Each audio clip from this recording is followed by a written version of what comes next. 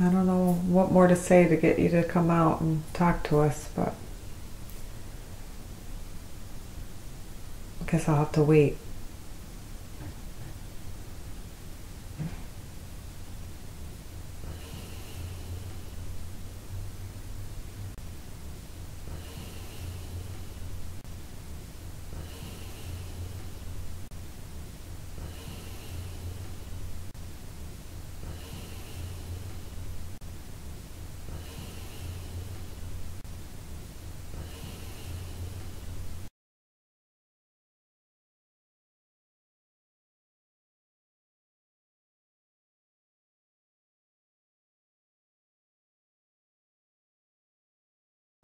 Hi, this is the final review of the Domiano case.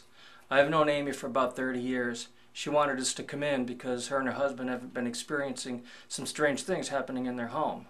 So we came in, we set up, and we investigated for about three hours. And fortunately, we were able to actually capture something for her, and we were able to confirm that she does have activity in her home. And that's really what we do. We, we try to make people happy you know, we're here to help.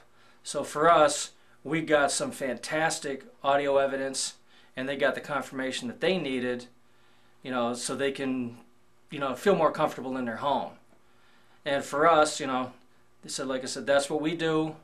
And, you know, it's really good because every now and then we get a good chill go down our back when that sort of thing happens. So anyway, on to the next, and I'll see you next time.